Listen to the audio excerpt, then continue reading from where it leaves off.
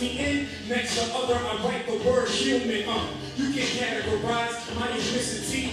I identify myself a little differently, and at the same time, I'm trying to figure out what it means to be mixed in a world full of doubt. Nobody knew exactly how to interact with me when they saw my skin. I would just act naturally. Their perceptions would kick in at rapid speeds. I received breeze of both.